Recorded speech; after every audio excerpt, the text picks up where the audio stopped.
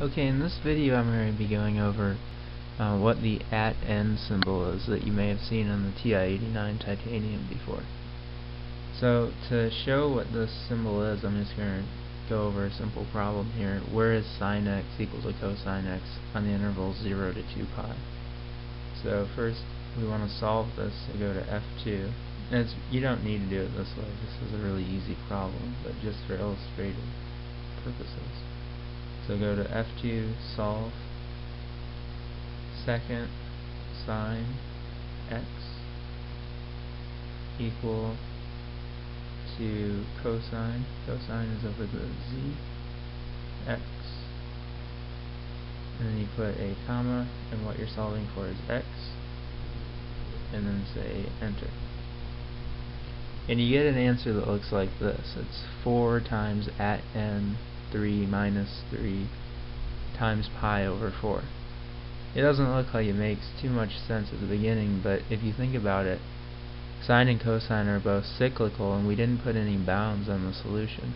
So it's going to be, the answer reoccurs in multiple integer values of n.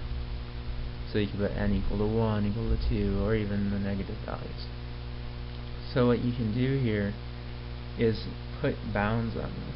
So use your vertical evaluation bar and put 0 second less than x less than you can put anything, I'm going to put 2 pi because that's what the problem says. 2 pi and enter. And now you can see the two values are pi over 4 and 5 pi over 4 for the interval 0 to 2 pi and it's completely evident if you just look at a graph. I have them both entered here. y equals sine x, y equals cosine x, and graph.